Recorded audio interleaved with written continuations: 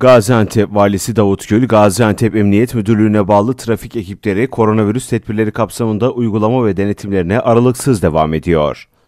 Yolda denetim yapan polis ekipleri panel van tipi bir aracı durdurdu. Araçta yapılan aramada aracın ön kısmında 4, kapalı arka kısmında ise yan yana 20 kişinin olduğu görüldü. Polisin şahısları tek tek sayarak aşağıya indirmesi cep telefonu kamerasına yansıdı.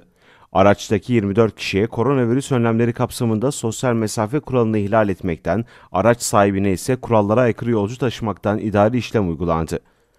Araç sahibine yazılan cezayı Gaziantep Valisi Davut Gül sosyal medya hesabından yaptığı açıklamada şu ifadelerle yer verdi. Gül, araç 15 gün trafikten men edilerek 78.750 lira para cezası uygulandı ifadelerini kullandı. Bir araçtan iner misiniz arkadaşlar? Bir iner misiniz? Teker teker bir inin.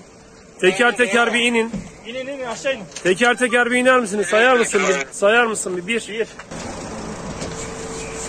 İki. iki, Üç. Beyefendi sıraya geçelim. Dört. Dört. Beş. Aşağı inelim. Altı. Yedi. Sekiz. Dokuz. On. On bir. On iki. On üç. On dört. On beş. On altı. On yedi. On sekiz. On dokuz.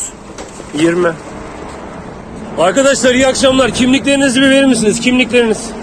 20, 21, 22, 23 sürücüyle beraber 24 kişi.